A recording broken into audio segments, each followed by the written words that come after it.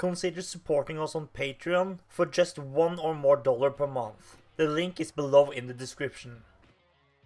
Hey, what's up everybody? Buskim here with a new should you buy the Rock Band DLC video. In this video we're looking at Countdown to Insanity by H-Blockx. This DLC is scheduled to be delisted before the end of next week, which means you don't have a lot of time to buy this before it gets removed from the store. One new thing I will do with this video is to rate it in how accessible the shards are for new, average and good players, which will help me decide if the shards are any good for you or not. If I say the shard is not for new expert players, but still say you should buy it, then it's still a no for you if you are new, although you still might wanna buy it for later, when you are good enough though. But should you buy Countdown to Insanity?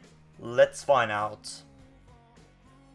The jump shot only got one beat, which is two kicks in the first two hits of the beat, which is two kicks in the first two hits in the beat before the snare hit. The upside is that it does change up the beat a lot. I mean sometimes it's a 4 beat on a hi-hat, and other times it's just kicks with a double snare hit and a hi-hat opener after the snare. It's still the same general beat, just changed up and this chart has 4 different versions of that beat, which made it a lot less repetitive than it could be. I think new and even average players can get into the groove of this beat for sure, but I don't think good players will find a lot of enjoyment here. Should you buy Countdown to Insanity for a drum chart?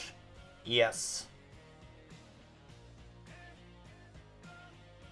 The bass shot is mainly a slow strumming on single notes, with some single note changes and a few hammer-ons between some of the strumming here and there. There's also some semi-short sections that you only get two strums before a break and a repeat.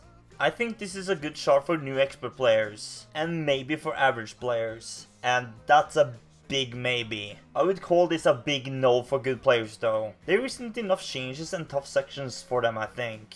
Should you buy this song for the bass chart? Maybe.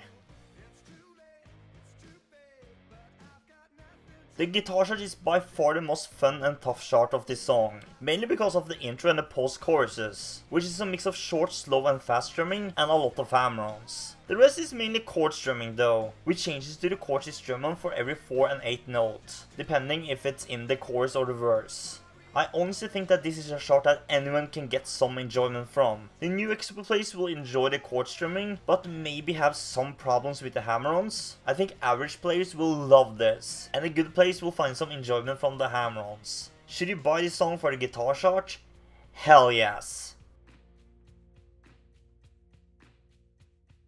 So, in summary, Countdown to Insanity is a good song for new expert players, and all the shots of this song works for these kinds of players. I think it's also a safe buy for average players, but if you're good then only buy this song for the guitar, and even then it's a bit questionable. Should you buy Countdown to Insanity by H-Blockx? Yes.